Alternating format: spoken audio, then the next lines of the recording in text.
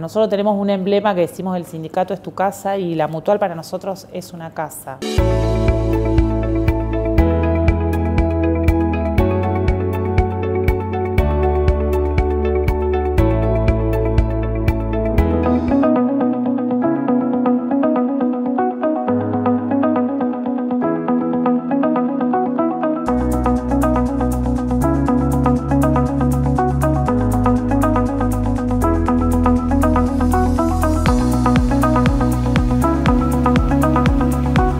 Fue, digamos, de menos a más empezar a incorporar servicios. Por ejemplo, todo lo que tenga que ver con la producción, la venta de alimentos. Nosotros tenemos dos proveedurías acá en Rosario, de venta de electrodomésticos y todo lo que tenga que ver con blanco a un precio mucho menor. Tenemos servicios de subsidio por nacimiento, casamiento, eh, tenemos cobertura de sepelio.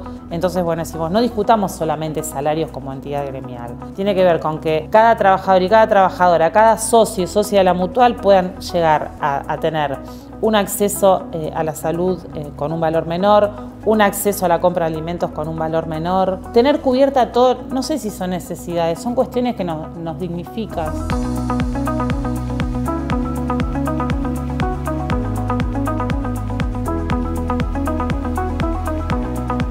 Son cosas importantísimas que tenga acceso a un comedor donde por 300 pesos tiene un almuerzo, tiene un desayuno por por 150 pesos.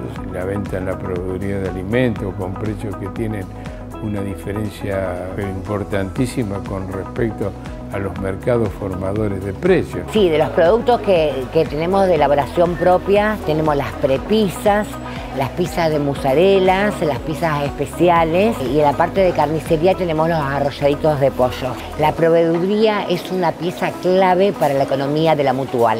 El futuro de este país, cooperativizarse o mutualizarse, ¿para qué?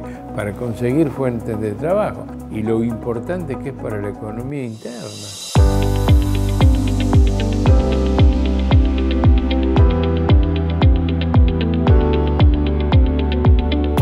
Yo hace 30 años que trabajo acá, desde que tengo 18, ahora tengo 48. La gente que viene acá me conoce que yo soy adolescente. Eh, para nosotros no es un trabajo, no es venir, marcar tarjeta así. Mira, lo que tenemos acá nosotros es un sentido de pertenencia bastante grande con la institución. Como esto no es una empresa, cualquiera que venga con un problema, nosotros no es que decimos, ah, mira, no es problema nuestro. Nosotros nos ocupamos, se lo resolvemos, vamos hasta lo del médico. Este, nosotros nos ocupamos integralmente de la atención. Para nosotros eh, la mutual la entendemos como una cuestión comunitaria, entendemos que es una cuestión social, este, entendemos que nos atraviesa a todas y todos. Eh, no solo el vínculo que se puede generar con la organización sindical, sino con toda, con toda la ciudadanía en general. Yo digo, yo estuve repartiendo en época de pandemia y, me di cuenta de la cantidad de gente que había sola. Se dice, ay, viene lo de comercio, ¿qué hace pibe? ¿Cómo andás? Te veían llegar vos, te abrían la puerta de la casa y no le importaba la pandemia, nada, la dirían que tenían y te ofrecían café. Y uno no quería entrar a la casa porque uno estaba dando vueltas por todos lados y no, no era bueno tener contacto con la gente, pero a mí me da una cosa en lo personal. Pero me acuerdo que un día llevamos un medicamento a la casa de un jubilado que estaba, que estaba enfermo, entonces bueno, nos pasó la plata con una caña de pescar desde la planta alta y nosotros pasamos los medicamentos, pero si hay algo que teníamos en claro es que teníamos que estar al lado de la gente. Yo no estoy al lado de mi compañero, mi compañero que me necesita. ¿De qué mutualismo estamos hablando?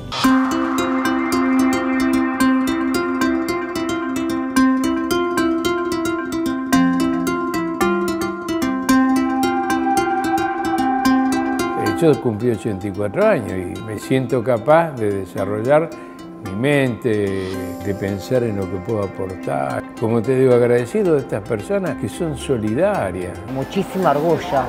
Para mí es, mi segunda casa, es mi familia. Son instituciones libres del pueblo, digamos. Están dirigidos por todos nosotros. Verlo crecer de la forma que creció, a mí me llena de, de orgullo pertenecer a la institución. Para nosotros estamos atravesados de una forma de vida. Quizás mañana no estemos, pero digo, si pudimos generar algo, dejar, dejar una marca o, ser esta mano que te agarra cuando vos necesitas algo y sabes que vos podés tirar la mano y vas a sentir otro, eh, eso es, eso digamos, es lo más maravilloso que te puede pasar.